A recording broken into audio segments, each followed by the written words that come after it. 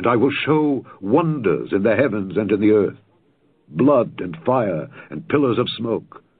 The sun shall be turned into darkness, and the moon into blood before the great and the terrible day of the Lord come.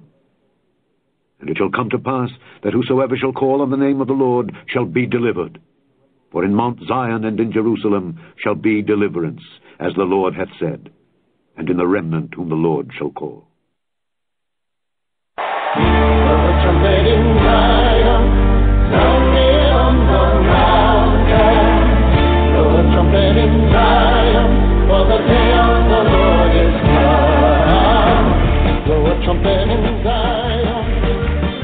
Amen. And welcome everybody to the Remnant Call. I am your host, Brother Frank, and excited to have you here tonight with us.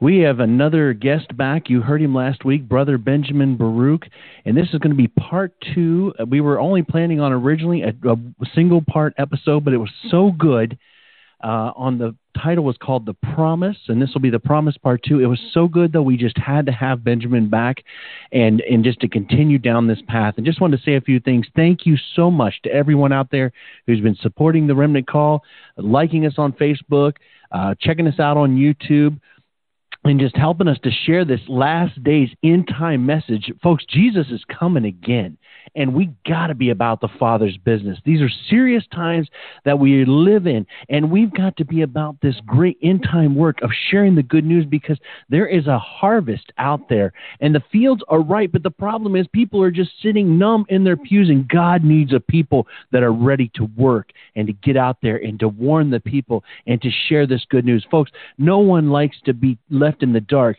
No one likes to be at work and everybody else knows what's going on except them. Folks, it's like that for the lost.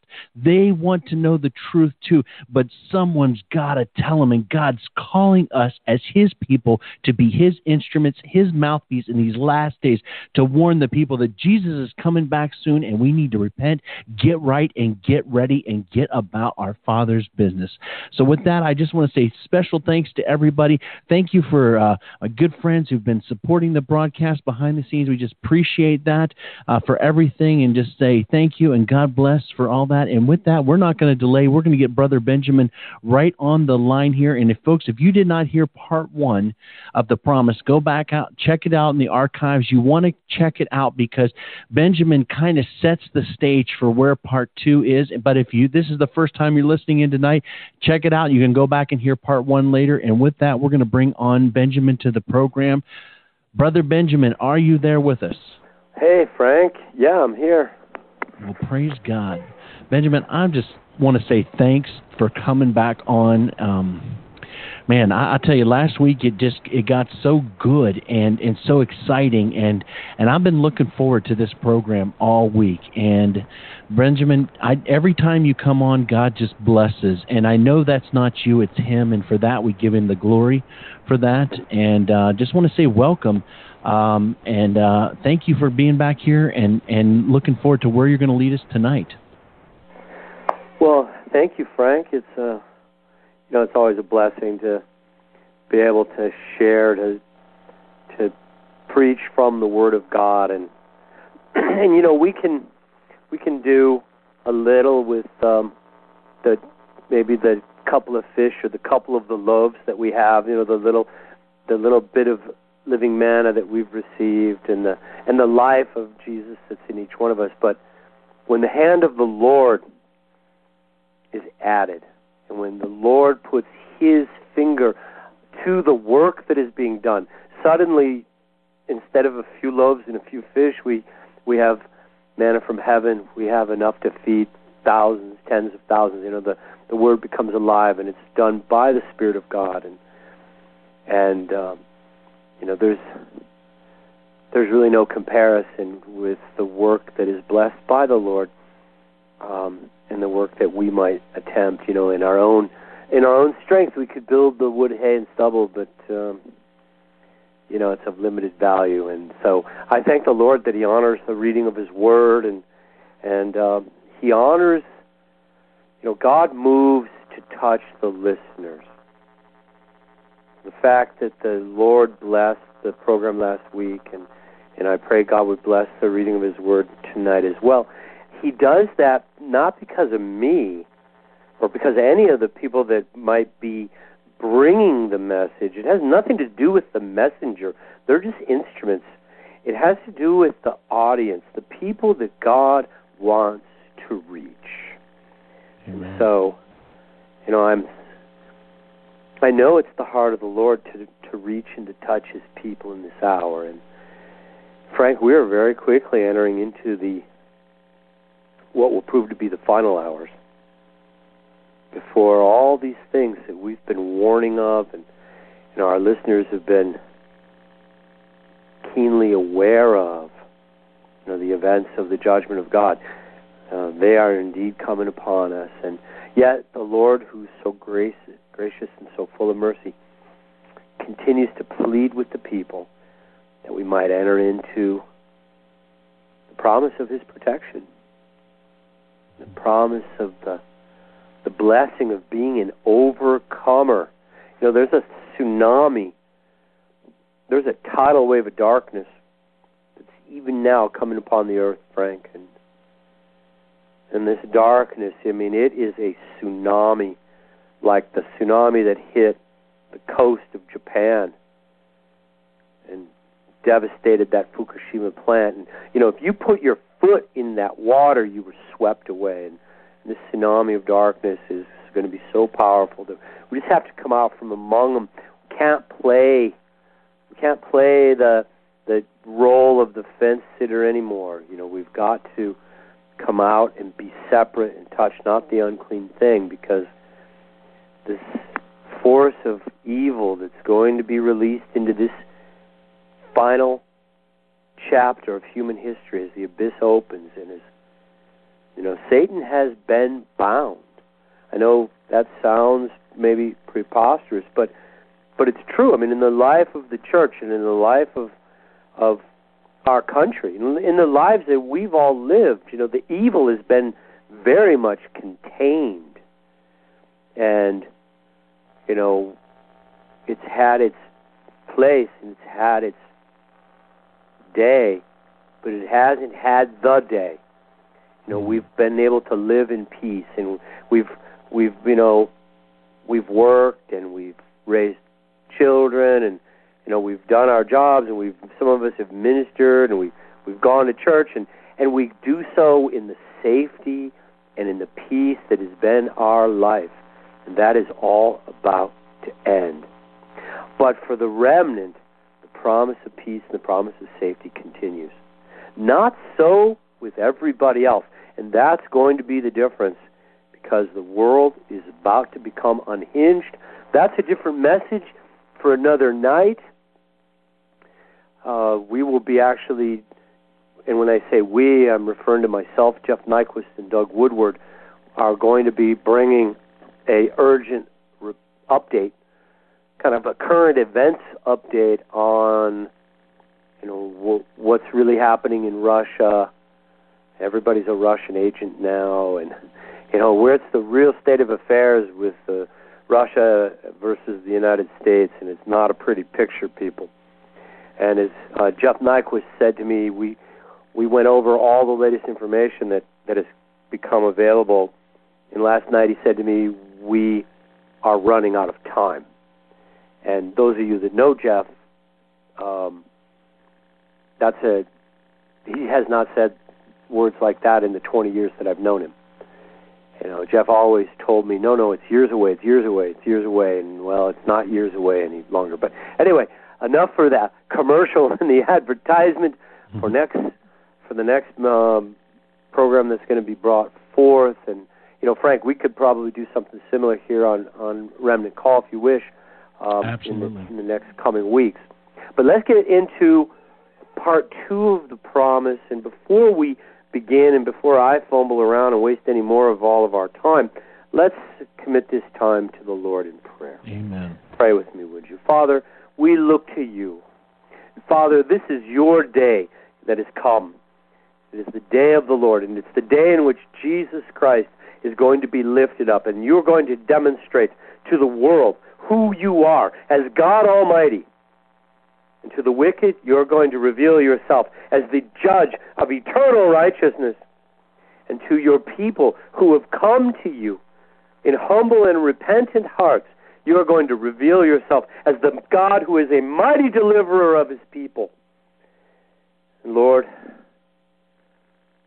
vengeance is yours. You are going to repay the debt that is owed. You told us to forgive to not seek our own vengeance. You said, Vengeance is mine and mine alone, and the day of vengeance draws near. And Lord, I pray that you would touch us powerfully, that we would be clean of all bitterness and all unforgiveness. None of these deceptions of the enemy would give Satan any advantage against your people. Lord, that we could inherit and enter into the promises of your word, the promise of deliverance, the promise of the blessing to the overcomer in this hour, and that the enemy would have nothing in us and nothing against us. So, Lord, bless the reading and the study of your word tonight. Pray that you would minister by the power of your Holy Spirit. And we stand in agreement, Lord, asking that your will be done. Let your perfect will be done in each of our lives. Father, we pray in Jesus' name. Amen. Amen. Amen. Praise God. Thank you, Lord. The promises of God, the word in the Greek means a divine assurance of good, a divine assurance, God's assurance of blessing and of hope and a reason for faith. And we have the promise and the assurance of good in the words of Holy Scripture. For the Word of God is the life of Jesus Christ. And so, praise God. Let's pick up where we left off at part one with the Lord again repeating a second time the admonition that He gave to the apostles. And this text is coming from the book of Acts, chapter 1, verse 4 and the scripture reads, And being assembled together with them, he commanded them that they should not depart from Jerusalem, but should wait for the promise of the Father, which he said, You've heard of me. The Lord was repeating this admonition, this commandment to the disciples, that they wait for that which was promised. For he, and he continues saying, For John truly baptized with water, but you shall be baptized with the Holy Ghost not many days hence. And in other texts, the baptism of the Holy Ghost is described as a baptism of fire. And truly, our God is a consuming fire. And the true presence of the Holy Ghost is a manifest presence of fire. If you could see the presence of the Holy Spirit with your eyes, you would see the Shekinah, the Shekinah glory of God, which is a dark, deep, golden, burning light. Light emanating out of the presence of God. This light is the light of the world. And we are to wait. We, you know, the Word of God is fulfilled more than one time this commandment to the disciples in Jerusalem is also a commandment to each one of us that we need to learn to wait on the Lord, wait for the power and the leading of the Holy Spirit. I know that when I first was shown the day of the Lord by literally being translated out of my living room and translated into the future. And I was there to personally experience the Great Tribulation. And it was a devastating, it was a, I don't even know the right words. I mean, it was, you know, it was traumatic to experience the Great Tribulation. I mean, this is, you know, more intense than anything any of us have ever been through. And I had personally seen some pretty intense trauma already in some of the circumstances that can happen in this world, but but the tribulation time that's coming so above, you know, such has never been, is what's about to begin, and yet we can be kept in peace But when the Lord brought me back, and after I stopped trembling for seven days, Frank, I literally, I was shaking for seven days. I couldn't stop shaking. I was so afraid. I mean, fear had just, fear came upon me from what hmm. I had seen, what I had experienced. And, and men's hearts will be failing them from fear the events that are going to be taking place on the earth. This is a fearful time unless we are walking in full of the power of the Holy Spirit. But when I was brought back to what was the year 1996, after I had sort of regained some of my composure, I felt a burning desire to try to warn everybody I mean, I just started, I had to try to tell my family and my friends what I had seen. And yet, now 20 years later, on the, as we are approaching the actual fulfillment of these things, which in my opinion are going to come upon the earth in the next one to two years, at least in terms of the beginning of the judgment in, that's coming upon the United States of America, I had this burning desire to tell anybody and everybody. And I wasn't waiting on the Lord. I was just going. And, you know, the Lord had to kind of rein me in and, and teach me that, you know, there you can be well intentioned, but we really need to pray. We really need to learn the the discipline of waiting on the Lord don't just presume you should tell everybody. The scripture also says, The prudent shall keep silent, for the days are evil. You know, in many ways, it is much better to be prudent and silent than to be shouting from the housetops the message of the judgment of Almighty God, particularly in a world that is about to become demon possessed. The prudent shall be silent, they will hide themselves. So we only want to speak, we only want to act, we only want to do the things that are being led by the Holy Spirit. We don't want to go off half cocked in our knowledge of good and evil. In what seems right, our impulsive, emotional, you know, reaction seems like the right thing to do, but it's not. The Lord told the disciples, wait for the promise of the Father, which is the baptism of the Holy Spirit. We too need to learn to wait for the leading of the Holy Spirit. And when we pray, we need to pray and wait, and we need to travail in prayer and wait for the breakthrough of the Holy Spirit. And even when we pray about different matters, we need to learn to wait for the confirmation that the prayer has been that it's done. And I know in the charismatic church and you know, thank God for those of you that were not part of the charismatic church, you should bless the Lord that you avoided so much error because the charismatic church that experienced a mighty outpouring of the Holy Spirit in the 1970s fell under just incredible error in the 1980s. And it only got worse from there to the point that now there's this false anointing. You know, it's actually a Kundalini devil. And, I mean, it it's manifesting in countless congregations, and the people have so fallen from the love of the truth they cannot discern the difference. But in these charismatic churches, so many errors were also introduced alongside of all of these deceptions. And, you know, one of these errors was this word of faith movement. And you guys understand, Satan is really smart. When he's going to bring an error, he's going to twist the scriptures. It's not going to be blatantly wrong. He's not going to come in and tell us some lie that is absurd. It's going to be just a slight degree of wrong. The Word of Faith movement was just slightly wrong. And so people would be naming it and claiming it for all the desires of the flesh, which is ridiculous. God didn't give us the power of the kingdom to fulfill the lust of the flesh. Mm. But in addition, people would pray about legitimate things.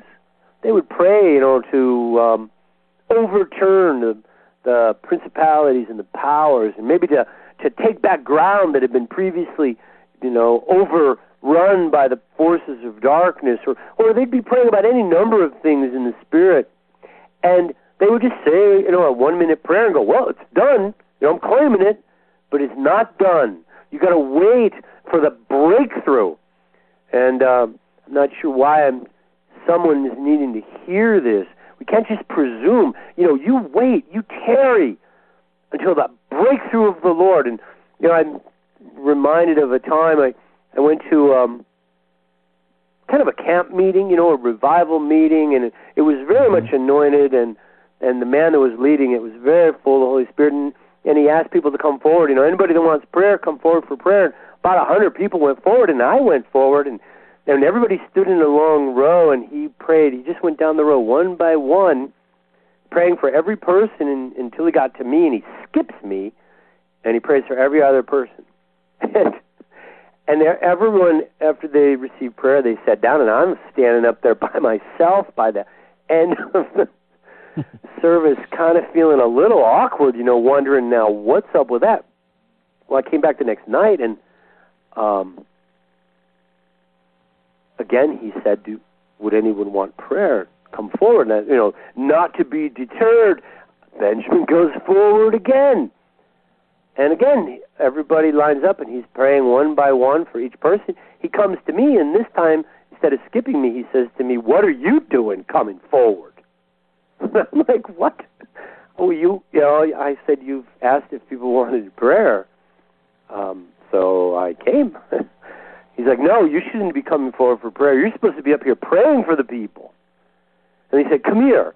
And then he started praying for someone and he looks at me, he's laying hands on this person, he's praying for someone who needed some kind of breakthrough. And he looks at me and he says, Can you feel the Spirit of God is being quenched?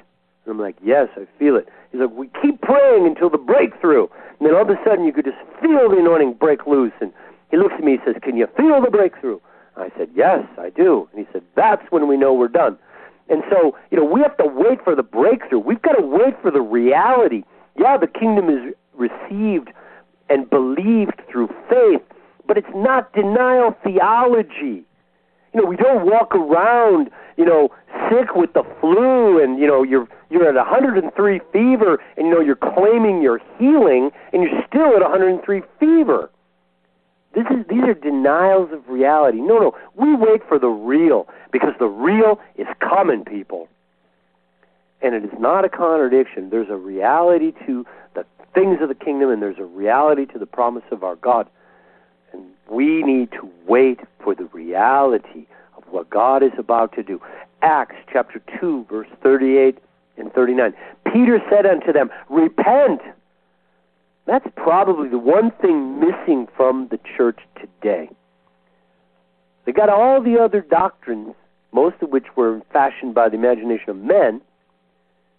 Very few people have the true repentance and the humility and the meekness of the Spirit of God. But we need to repent and be baptized, everyone, in the name of Jesus Christ for the remission of our sins, and you too shall receive the gift of the Holy Ghost, for the promise is unto you and to your children and to all that are far off, even as many as the, Lord our God shall call. And so the promise is even unto the last generation, which is our generation. And with many other words did Peter testify and exhort them, saying, Save yourselves from this untoward generation. And that word in the Greek is skolios, and it means warped. It means perverse, crooked, just unclean, wicked people. And that's this generation. The Bible calls the last generation the generation of his wrath, and it's a perverted generation. It is a perverse and crooked and wicked generation. We need to save ourselves.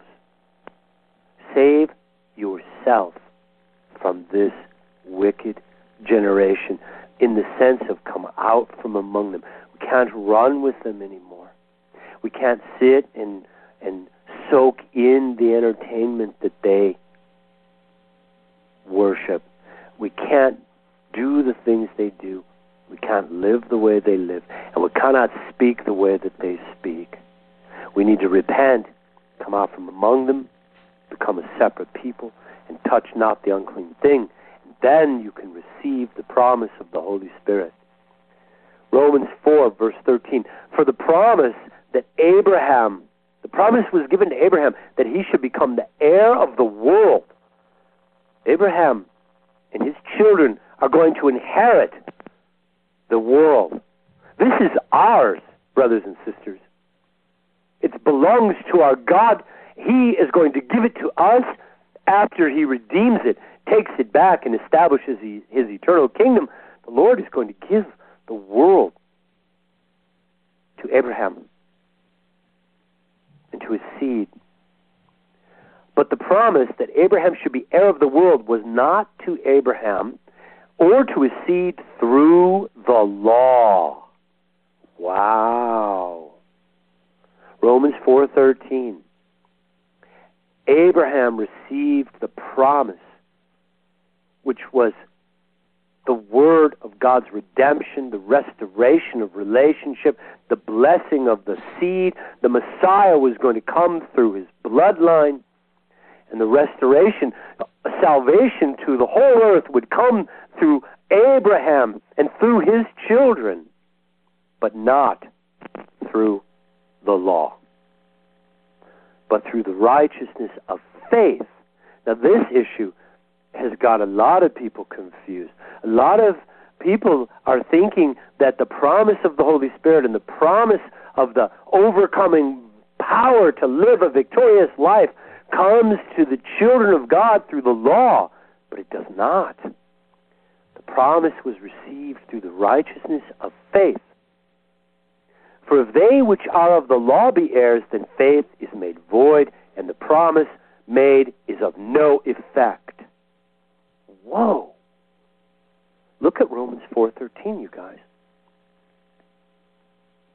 If it was earned by keeping the law, then your faith has become void. Mm-hmm. And if there's one subject that has so many confused in this hour, it's the relationship between faith and law. Walking in the Spirit and following attempting to follow, rather, the commandments of God through the knowledge of good and evil, which is the mind of the flesh, through the strength of the flesh. And the truth of the matter is, the law was given as a tutor to show us the mind and the will of God. Do not murder your neighbor. To the man in the flesh, that was a revelation. To the person walking in the Holy Spirit, that is the that's already in their heart through the love of God. They don't need a law telling them, don't murder your neighbor. The love of God already leads them into righteousness. And so things of the law, which are a tutor, are there to instruct us in what is righteous, but we cannot enter or receive the promise through the tutor. The tutor was merely there to teach us while we were yet in the mind of the flesh. We needed instruction in the ways of the flesh, but the promise is in, inherited through the Spirit. The Bible tells us that the flesh profits nothing. You can do your best effort in the flesh to honor God and to keep His commandments and to do everything that in your knowledge of good and evil you think you should be doing, and you will maybe win Pharisee of the Year. You might win the Pharisee of the Year award, but you will not impress the Lord because the flesh can profit you nothing. Spirit gives life. And, you know, this issue of how to really enter in, you know, a lot of people today are thinking, well, we need to go back and, you know, figure out how to keep the old covenant, you know, one more time. Let's go back to the old covenant.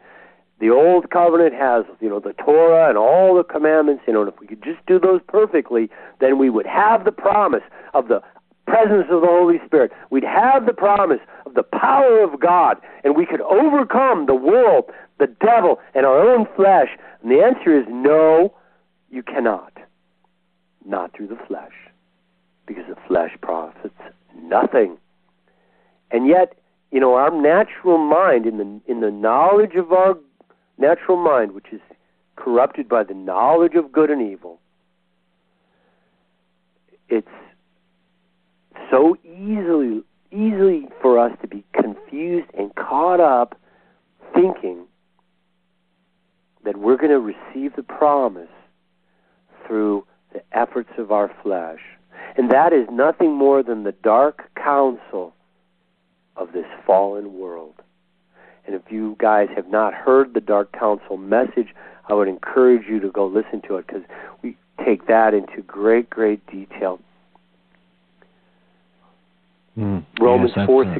Therefore, it is of faith that it might be by grace, to the end the promise might be sure to all of the seed, not to that only which is of the law, but to that also which is of the faith of Abraham, who is the father of us all. And Abraham, this is verse 20, Romans 4, Abraham staggered not at the promises of God through unbelief. Abraham did not doubt what God said. The victory, the blessing, the inheritance. God promised it. Abraham believed and was strong in faith, giving glory to God and being fully persuaded that what he had promised, what God had promised, God was able to perform. Therefore, it was imputed to him for righteousness. The fact that he believed God's word. And having received righteousness by faith, Abraham also walked with the Lord, and so he walked in righteousness. Frank, are we are we good? I'm getting a little feedback. Uh, I'm not hearing it here, but yeah, everything sounds good on my side right now. But, okay, awesome. Galatians 3:14 that the blessing of Abraham might come on the Gentiles. The blessing of Abraham came upon the Gentiles through Jesus Christ, that we too might receive the promise of the Spirit through faith. You know, the question is how do we enter in? The darkness that is about to be released on this earth is without precedent. You know, I saw a, a little glimpse into the darkness. A little over a year ago, there was a time, for a couple of days, there was spiritual warfare uh, at such a level that the I, I don't know how to describe it. I guess I would say there was a tear in the in the wall that had separated the spirit world from the created world, and the demonic was pouring through like the the hole in the side of the Titanic, and for two days, wherever I went, the people I would just be walking down the street, and as I would walk by people, they would go crazy. They would start yelling and literally going into like epileptic seizures, and not just one of them, all of them. It was absolutely unbelievable. I'd never seen anything like it in my life. You know, the whole world lies in the evil one. We know that from Scripture. I was seeing living proof of how the enemy could animate all of these people because the veil had been torn between the two realms. Well, that's what's coming in the Great Tribulation. The abyss will open, the veil will be torn, and the power of darkness is going to fill the earth. That which has been appointed to destruction is going to be converted wholly unto evil. But in the camp of the righteous, the promise of the Holy Spirit will be fulfilled, and that without measure. There's going to be no way to walk through the great tribulation through the knowledge of good and evil. There'll be no way to. I don't think you'll survive for five minutes in the strength of the flesh. It's ridiculous. It would be like standing on the beach of of Japan, you know, and trying to hold back the tsunami with the strength of your arms. You would just be picked up and thrown inland 30 miles, and you'd be probably dead by the time you got there.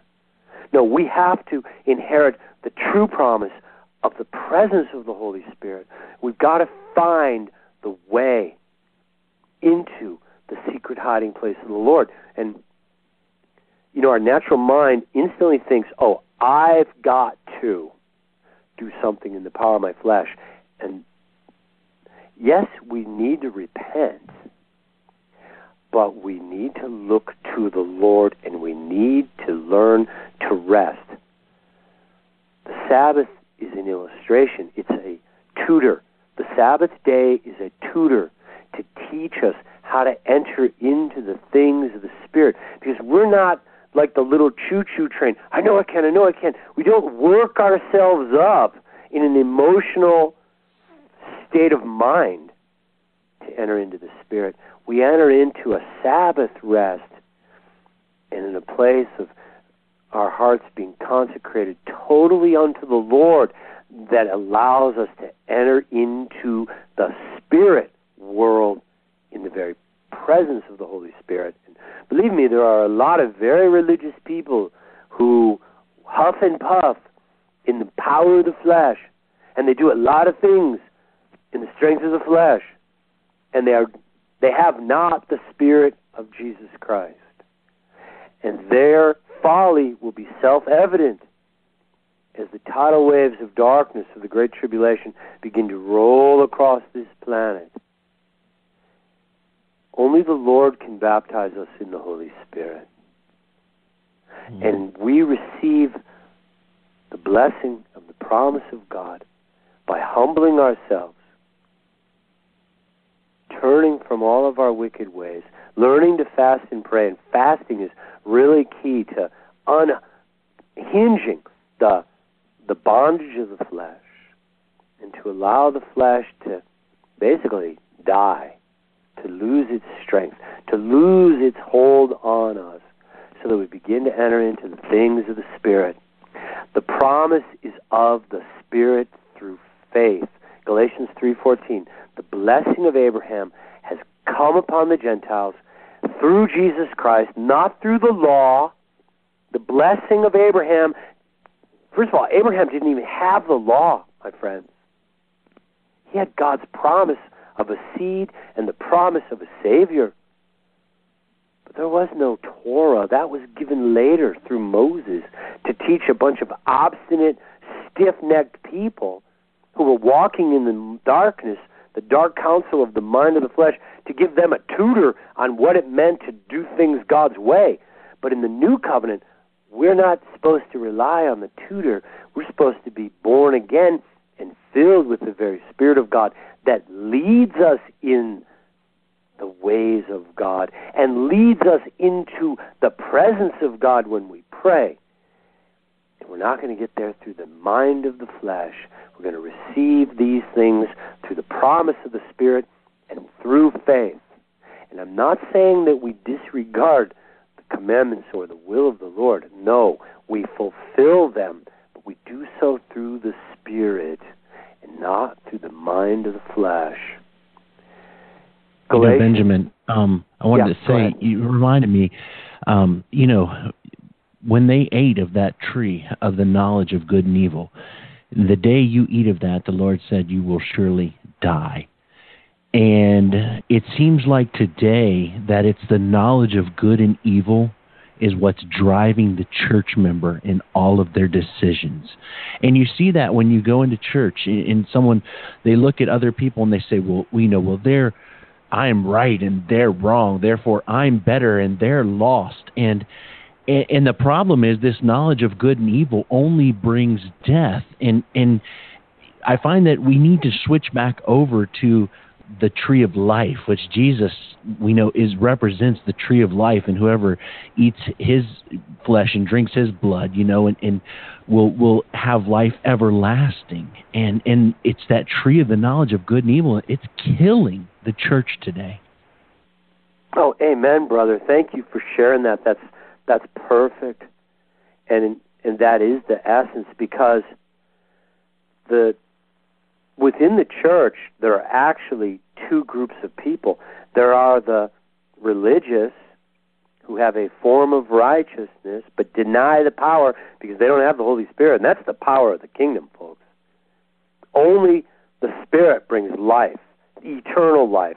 And only through the Spirit can we do things of eternal value because the flesh profits nothing. But so there are people who are not born of the Spirit of God. Therefore, they're walking in a Christian religion that is predicated upon the flesh. And they are, I'm sorry to say, the scripture describes them as the congregations of the dead.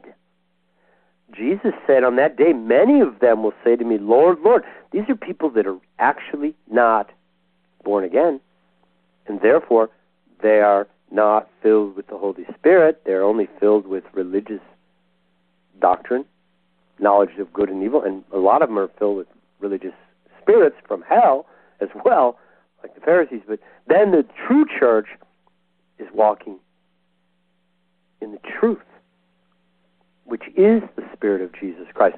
Paul uh, mentioned this in Galatians 4, where he said, Tell me, this is verse 21, tell me, you that desire to be under the law, because this whole contention of, you know, now that we've got the revelation, are we going to go forward in the strength of the flesh, or are we going to wait for the promise of God and learn how to move and operate in the Holy Spirit?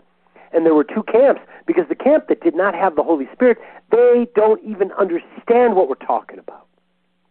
They have no clue what it means to wait on the Lord. They have no clue what it means to receive the Rhema word of God and for revelation to come forth out of heaven. The only revelation they have is coming out of their dark counsel. But they're convinced it's the truth. And so the children of the flesh who really have no living manna, they hate the children of the Spirit. And they've been at war. These two kingdoms have been at war because the children of the flesh who are not yet born again are still walking in the darkness. Paul addressed this in Galatians 4:21. You that desire to be under the law, do you hear the law? It was written Abraham had two sons, the one a slave, the other from a free woman. But who was of the slave was born after the flesh. He, Paul's telling us Esau, pardon me, Ishmael was born in the flesh. But the son of the free woman was from or of the promise. Isaac is the son of the Spirit and of the promise of God. Ishmael was done by the flesh. Abraham and Sarah got together and they were going to make God's promise happen. They weren't going to wait for the Lord to do what he said he would do because they'd already waited, I think, 25 years or 20 years. It was a long wait. And so, you know, Sarah had the bright idea maybe we should help God. Maybe we should do something in the flesh to fulfill the promise God made in the spirit. And, and the great idea they came up with was Abraham to have a son he named Ishmael, who today is the father of the Islamic and Muslim nations. And that hasn't worked out real well. And we've all done our Ishmaels. And Ishmael is a son of bondage because he's in bondage to the flesh because he was born of the flesh. And each seed is after its own kind. The flesh can only produce the seed of more flesh. Only the Spirit can bring forth the works of the Spirit. That's why we had to learn to wait for the seed of the Spirit to begin bringing new life in us before we could ever do the true works of the kingdom. And Paul goes on and he says this was an allegory. These two sons, Ishmael and Isaac, are a picture for us of the two covenants. The one from Mount Sinai. That was the Torah, my friends. And Paul is saying Ishmael is a picture of the Torah. Well, that's amazing. And that Isaac is a picture of the new covenant. Ishmael is the son of Sinai, who which gendereth, which brings to or leads us into bondage, which is Agar. For this Agar is Mount Sinai in Arabia and answers to Jerusalem, which is now and is in bondage with her children. What he's saying is the whole religious system is in bondage to this mind of the flesh. But the, even the Jerusalem that is on the earth in Paul's day, very much like Jerusalem in our day, is still in the deception of the mind of the flesh and is under the curse of the knowledge of good and evil. And what if you go to Jerusalem? I've lived in Jerusalem, and you walk around and meet and greet the people, you'll find everybody's striving over how to keep the law. But none of them are walking in the promise of the Holy Spirit. It's the, the bondage of the flesh. And yet, if that's all you've received, that's all you know, and it's all you can give birth to in your life as well. But Paul goes on Galatians 4:26, but Jerusalem which is from above is free. And when we're in the anointing, when we're in the Holy Spirit, when we've entered into the presence of the Holy Spirit and we're now beginning to study the word, preach the word with the power of the Holy Spirit in us, now we're being led by the Lord. Now God leads us into freedom. Whosoever the Son sets free is free indeed. But if you're not yet free indeed, if the Son hasn't set you free, then you are in slavery. And that slavery is to the principle of the flesh. Galatians 4:27 For it is written, Rejoice, O barren one, break forth and cry, thou which travailest not. For the desolate has many more children than she who has a husband. And here he's talking about the children of the Spirit who, while waiting on the Lord, appear to have nothing. They are waiting, and they appear to be barren. They've not yet bore fruit, because the fruit that they've been chosen to bear will be the fruit of the Spirit, and it comes forth in the appointed time by the direction and the commandment of the Lord after the latter rains have fallen. And we have to wait for the Lord. We can't just do it in the flesh. And so for a season, the religious appear to be, you know, they've got the great programs and you know, I, I remember one person saying to me, Well, how many people attend your church? We've got five thousand. Great, right? As if the kingdom was a numerical question. You know? Woe unto you when when all men speak well unto you. Many shall seek to enter by the wide road. The five thousands are on the wide road. The mega churches are, for the most part, filled with people seeking to enter through the wide road, and it's the way of the flesh. And oh, by the way, it's any way you want it to be. I mean, and what a great deal, right? You can have it your way. You get to keep whatever things of the flesh you want to keep, and you can believe in Jesus too. And Satan really does well selling this apostate false faith. And it's predicated on the deception of the flesh. And it's sold to people who, having never received the Spirit of God, have no ability to discern the true from the false.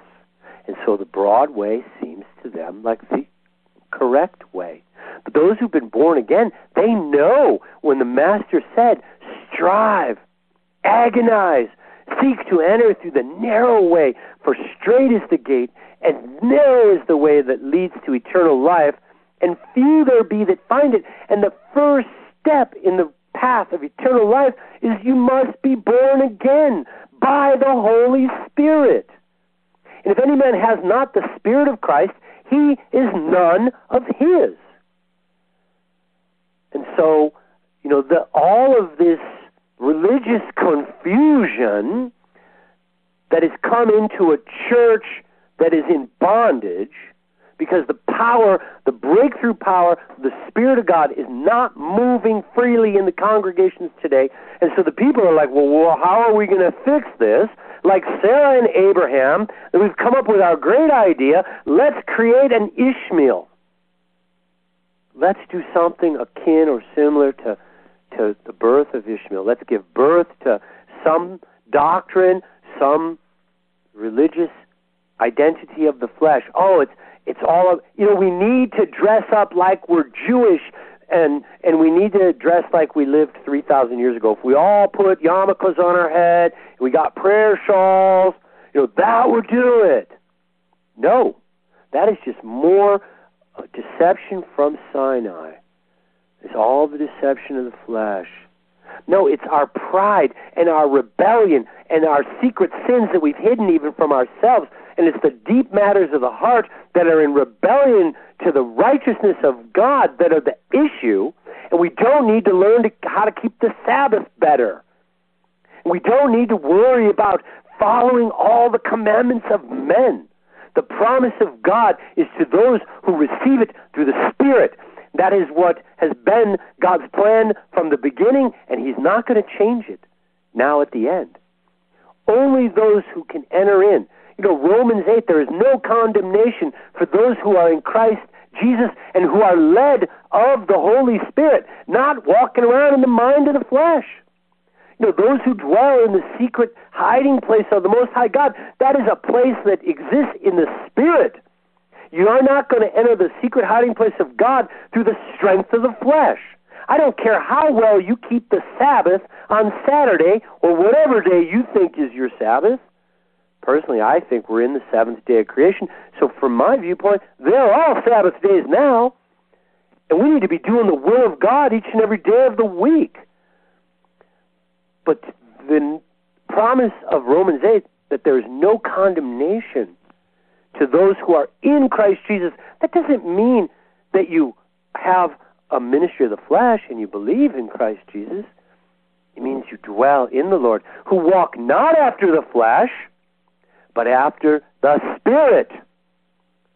The promise is to those who walk in the Spirit. For the law of the Spirit. Oh, what what law might this be? It's a different law than the law given in the flesh. that's what Paul is alluding to in Galatians 4 when he says that the law which was given in Sinai, which is the original covenant given to Moses, given in the flesh to Israel in the flesh, is an allegory of Ishmael. It was done in the flesh. That's why God repealed it. And if you read, if you study the scriptures carefully, you'll find out the old covenant has been canceled. And it's been replaced by a new covenant which you can only partake in if you receive the promise of the Spirit and are thereby born again. The Spirit goes wheresoever He wills, and He brings life to whoever calls on the Lord with a pure heart. For the law of the Spirit of life in Jesus Christ has made me free from the law of sin and death. And that's the law of the flesh. Flesh profits nothing. Our flesh will die. Your flesh is going to die. My flesh is going to die. Even if we survive until the sign of the Son of Man appears in the heavens and we are raptured or translated off this planet to meet the Lord in the clouds, you're not going with your flesh. Your flesh is under the law of sin and death. So we're not going to enter the kingdom. We're not going to receive the promises through the law of sin and death. We're going to receive the promise of God through the law of the Spirit. Romans 8, verse 3. For what the law of the flesh could not do can't be done, people. Especially now that God has canceled it, it is for sure impossible. You know, so if you try to dress up like a bunch of Israelites and you want to go down into the Negev desert and walk around and seek the Lord according to the Torah, you're not going to get anywhere with God. The Lord has moved on. He's actually canceled that covenant. And I know a lot of people, you know, uh, they rage against me. I have to preach these truths. And the people who are devoid of the wisdom of the Spirit of God and who are full of the pride of life and full of the law of sin and death, and it's their religion that I'm challenging. You know, I'm tearing down their high place and I'm leveling that mountain of deception. They don't like it. And so they gnash their teeth at me. But, brothers and sisters, I present the Holy Scripture as my defense. This is the revelation of Jesus Christ for what the law of the flesh could never do, in that it was weak because of the flesh. God Himself did by sending His own Son. And God is also going to do by sending the Holy Spirit. It is God who brings about the born again, new life in us. We can't make ourselves born again any more than you made yourself born the first time. What did you have to do with getting born? Did anybody say to you, Would you like to become a baby? No, you had nothing to do with it. So it is the new birth. It, although we can cry out and ask God for this life, and thanks be to God that His mercy endures forever, for the Lord says, Whoever calls upon the name of the Lord in this hour shall be saved. So if you desire earnestly the things of the kingdom of God, you can call upon the name of the Lord. If, you, if you're not sure that you've been born again, this promise is available to you and to whosoever would believe in the promise of God and call upon his name in truth. But we're in a spiritual war. And so, you know, if you don't initially enter in, you guys, you've got to stand and wait, which is what Jesus said from the beginning. Wait until the power comes. Wait until you receive the promise. Wait on God. It's His word. He said it. He will deliver it. The only question is, are we willing to wait on the Lord and to learn to enter into the things of the Spirit?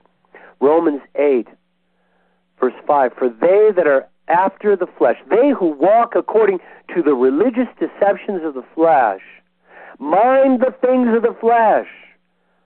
They're focused on the flesh. They're looking for the pleasure of the flesh. And I'll tell you, the main motivators, money is a big one. Right after that is, what are we going to eat? They never fast and pray because it's about filling their belly and the things of the flesh. That's the entire identity, is the food and the pleasure and the women and the gold and whatever junk they can they can put in their mouth. Mm. And then how much wealth can they take? Those are Benjamin the things Weir. of the flesh. We are unfortunately getting down to the end of the program. I, I should have warned you a little earlier, but I got so wrapped up in what you were talking about, brother. I couldn't hardly. Uh, I just was listening, and want to thank well, you for that. Let me finish this one scripture, eight, Romans eight five. But they that are walking after the Spirit of God are mindful of the things of the Spirit, and these are the things of the Lord.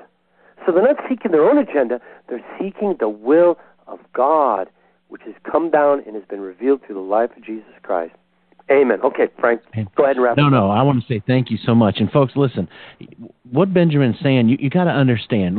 I know we have Sabbath and Sunday keepers listening to this program, okay? What the truth is here is that if you do not have a walk with God filled with the Spirit of God, you can obey yourself clear into hell.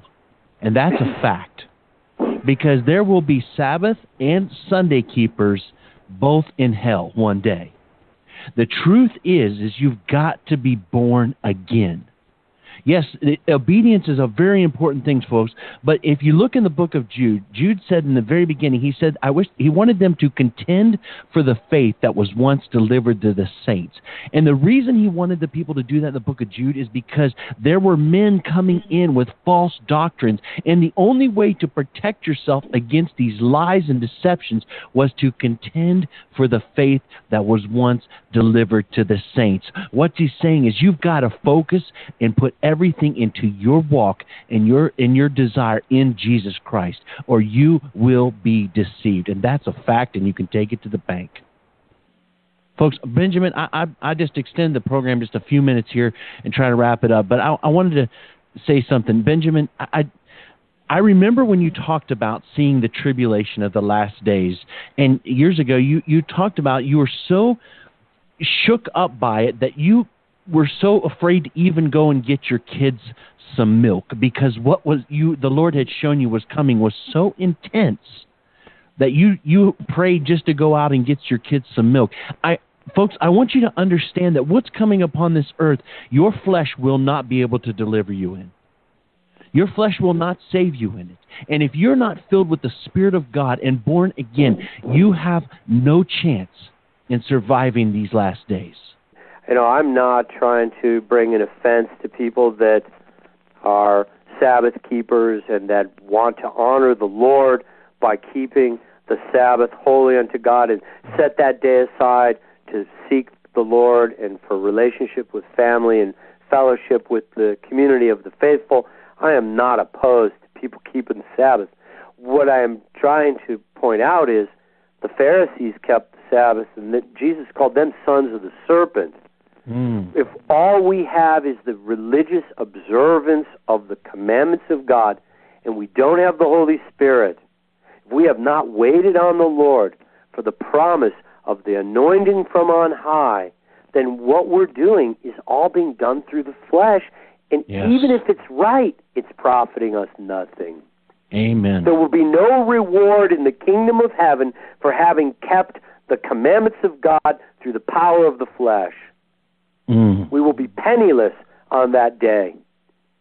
Only the things done by the Holy Spirit can profit us in terms of eternity and in terms of the, the truth of the kingdom of God. And, you know, that is not the focus of many, many people. People want to argue about, you know, how do we do these things in the flesh? And the answer is you don't. Learn to wait on the Lord and learn Amen. to walk in the Spirit. And then if you have a question of, you know, what is it that God has or wants me to do with this or with that, then simply ask the Lord. And if you're walking in the Holy Spirit, the Lord will lead you into all truth. You need no man to teach you. The Holy Spirit will come as your counselor and your comforter. I got to tell you, Frank, all of the congregations that I've been aware of, and I've traveled extensively, there is a great falling away in the land.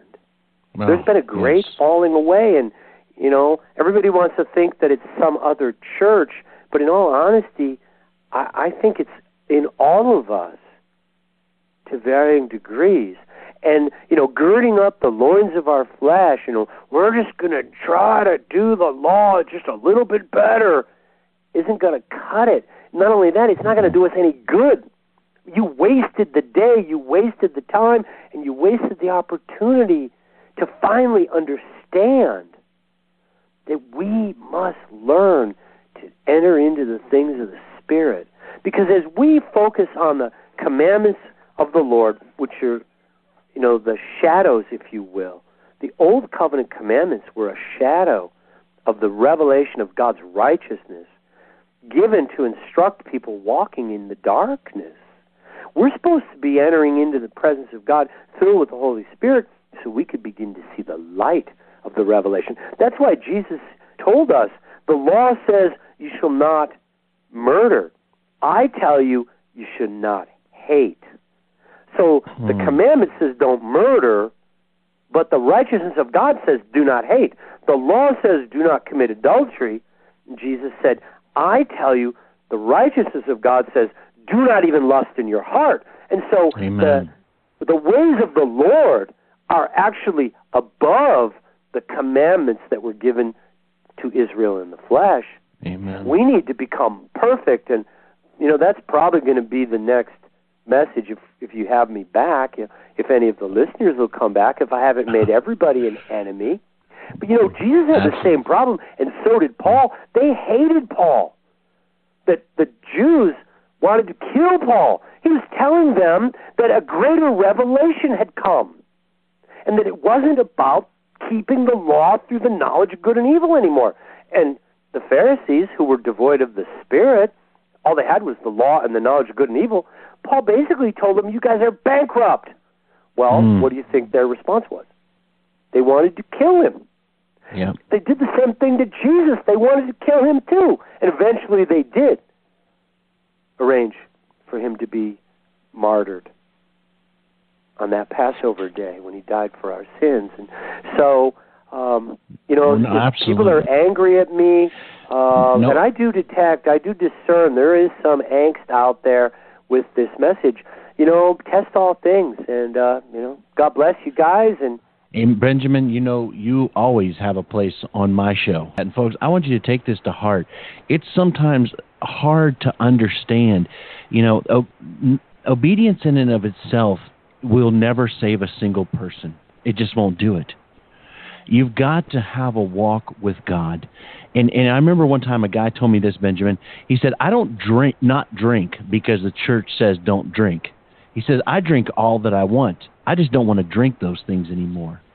And I rem- that spoke to me volumes that day, Benjamin, because what it told me was he had had a transformed mind, not just an act of trying to not drink, but that his mind was transformed by the Spirit of the living God. Amen. And that's a different thing than just trying to keep something in your flesh versus when God gets in and changes the physical. What Benjamin just said, God has raised the bar as a believer. Actually, it's more than the old covenant. It's about your mind being in tune with God. And and folks, exactly. if, if you if you haven't heard Benjamin's old messages on on um, the knowledge of good and evil and and dark Counsel. go out on youtube and look for them because they are powerful and it will tell you exactly what the problems are and what people are living in this dark Counsel in this day and age in the churches. And benjamin you're right. We so often think it's somebody else when many times it is us with the problem. Amen. And you know people also if they don't want to um or they can't find it on the internet the dark Counsel message the uh, Ministry of Death message and the message of first fruit, which is the, the remnant believers, they're all part of the book Search the Scriptures Out of the Darkness, which is volume one of the Search the Scriptures series. And um, that's a real powerful word, megaton of truth in that in that book. So if people haven't heard and um, the very first section or chapter of out of the darkness is a message entitled Matters of the Heart. Mm-hmm. And if uh, our listeners want to get the book Out of the Darkness, I think you'd find it to be one of the most powerful books.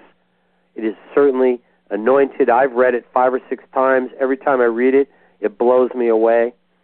And when I listen to those messages, they were not um, something I did.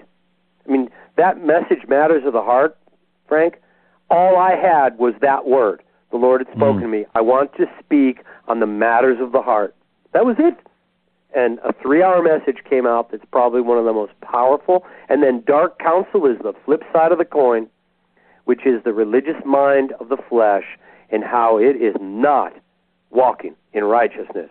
But it's so convinced of itself. It's so full of pride. And it's so bound up that you know, It'll crucify you if you even suggest perhaps it should repent. But the reality is that knowledge, that carnal mind that is in us, it cannot repent. It's at enmity with God. It must be put to death.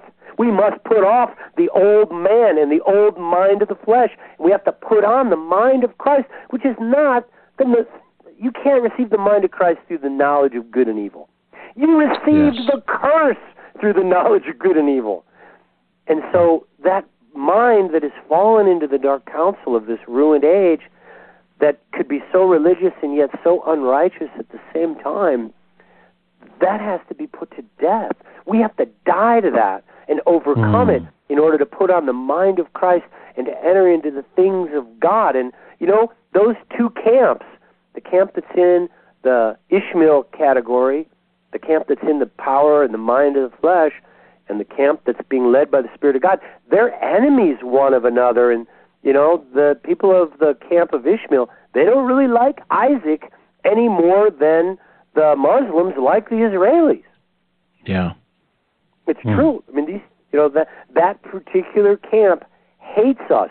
Now, the Israelis don't really hate the Muslims, but the Muslims hate the Israelis. And I'm not just speaking from one who has no experience. I lived in East Jerusalem. I went to graduate school there, and I actually lived there. I've been to Israel uh, probably like 20 times, and I can tell you for sure because I hung out with the Arabs and Palestinians, and and I knew those people personally. They hate the Jews. I mean, they two 17-year-old girls uh, um, were sitting out at the Dan Jerusalem Hotel on Mount Scopus. I walk up and they're like, you know, you're an American. We won't, we want to talk English with you. I'm like, okay, sure. First thing they say to me is, do you hate the Jews? I'm like, no, no, I don't hate anybody. We hate them. We want to kill them. These are hmm. 17 year old girls, cute little Arab girls. I'm like, what are you doing hating anybody? You should want to get married and have a family and, you know, and have little cute babies. What, what do you want to kill people for? But they do. They hate them. And so the children of the flesh, they can't do anything but oppose the children of the Spirit because the flesh is under the curse. And, you know, as much as, and the one thing about flesh, and I'll just wrap with this comment, it's, it's filled with the pride of life. The flesh is naturally proud. I mean, we know we're right. You go ask anybody who's walking around in the dark counsel of this ruined world and who's under the delusions of this fallen age and who's walking in the knowledge of good and evil, and they're judging using the knowledge they inherited from the fall between what's good and what's evil. And you ask them, you know, how how correct are you in everything that you think? And you know, if they're honest, they'll tell you, well, everything I think is right. They're right about everything. You got six billion people, seven billion people that know everything, and they're right about everything, except for the vast majority of them are going to go to hell. So how right mm. was that? Mm. And the answer is they weren't right about anything. They're being deceived in all of it. And there's nothing more deceiving than than somebody who names the name of Jesus, is firmly committed to the wide road ministry of their own choosing, and is gospel hardened to any truth out of Scripture because they already know they're saved. And they're going to do, you know, whatever's right in their eyes, and and you know, and they will kill you if you so much as get in their way. And they're full of pride, and yet they'll deny it. Oh, I'm not proud, you know. you know, the number one thing we do with our sin is deny it. Mm. Deny, deny, deny. It's not my sin. I mean, Adam started this right after the fall when the Lord came and said, "Adam," and what was his what was his answer? God, the the woman you gave me. Adam blamed God for giving him Eve. That's the reason he ate the fruit. God, it's your fault. You gave me that woman. She tricked me. Adam didn't own any of it. Neither did Eve. The serpent beguiled me. And so it is to this day. The children of the flesh deny all of their sin and or project it onto another. Mm. And in many of them who have named the name of Jesus but have never received the born again life of the Spirit of God, they're gospel hardened. These people mm. are going to hell. And I'm not making that up. Jesus warned us many would seek to enter through the wide road of the mind of the flesh and would not be allowed. And the word for many is polis in the Greek, and it means the vast majority. And the same thing happened to ancient Israel. And we were told in the prophecies of Isaiah, though the number of the children of Israel be as the sand of the sea, only a remnant is being saved.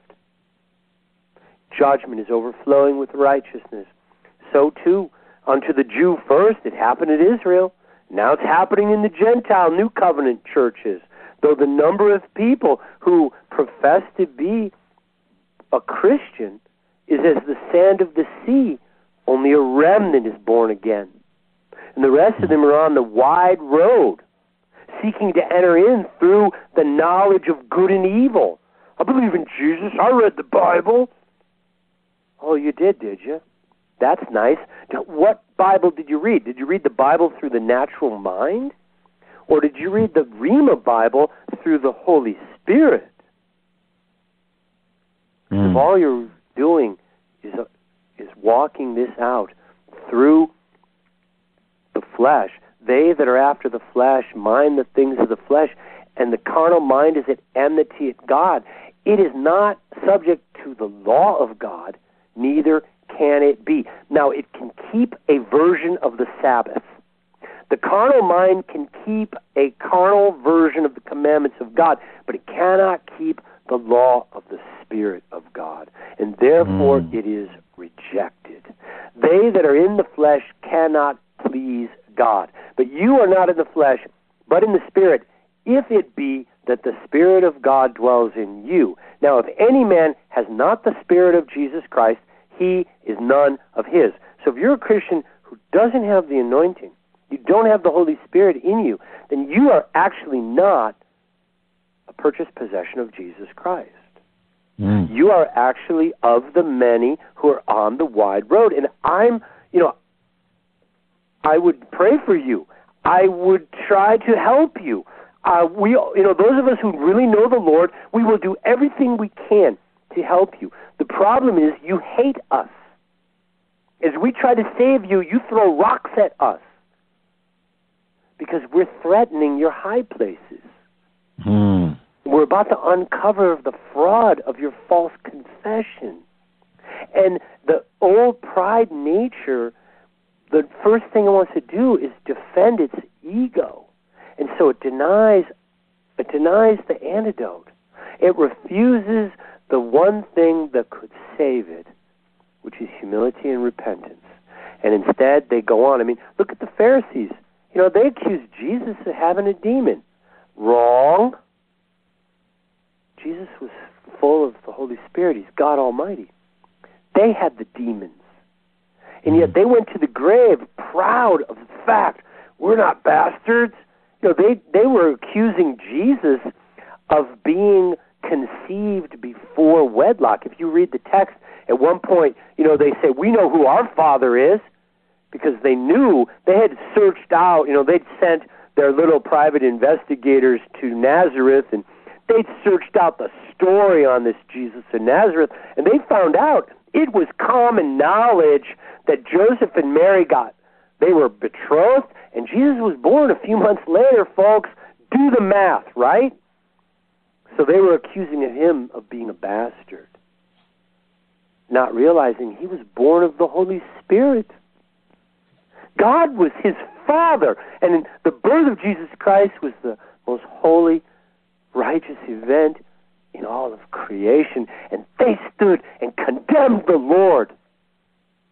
And they said, Nothing good comes from Nazareth. In their knowledge of good and evil, they knew he was from Nazareth. They never bothered to ask him, How old are you? Are you? Was there a census in the year you were born? What what, what city is your family actually from? Oh, Bethlehem? Wait a minute. But see, in their knowledge of good and evil, they knew he was from Nazareth. They didn't need anybody to tell them different. Yet he was born in Bethlehem. That's the problem mm. with the knowledge of good and evil. It yeah. is just a catastrophe. And it's never been anything but a disaster. And that's why, you know, the Bible says, you know, lean not on your own understanding. Don't put any confidence in that knowledge of good and evil. It's going to get you in trouble every time. Judge righteously through the witness and the and the revelation of the Holy Spirit. Now, the people that don't have the Spirit of God, they can't understand how people with the Spirit can judge by the Spirit. That's another reason those two camps fight each other. Because the people who only have the knowledge of good and evil always resist the revelation that comes by the Spirit. Because they can't they can't understand it. They've already got their way with their knowledge of good and evil. And they're convinced they're right. They're always right. And so there you have the essence between the two camps. One no, of light, I, one of darkness. I thank Benjamin. I, I just want to say, folks, listen, if you've had your toe stepped on, maybe that's a good thing. Because if it drives you to seek God in a deeper way, then I just want to say thank you, Jesus. Because the fact is, folks, is that in our flesh we cannot please God. We will never please God. And and all I can tell you is this about Benjamin. This is the one thing I know. In 1999, I woke up a drug addict, addicted to crystal meth, running around on my wife, doing everything wrong. I could not quit. I tried over and over again, and I ended up worse.